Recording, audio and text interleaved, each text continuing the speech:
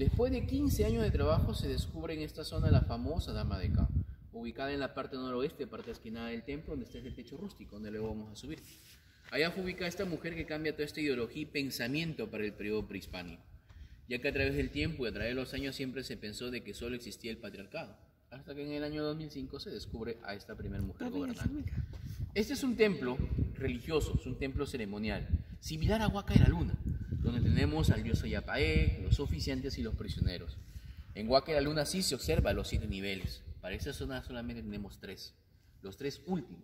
Y el que tenemos acá con un poco más de claridad es el famoso mural de los prisioneros, personajes totalmente desnudos que están siendo llevados o conducidos a la cima del templo, con una cuerda alrededor del cuello jalados por el sacerdote, que nos lleva a la zona más alta para luego ser ofrendado, ser sacrificado.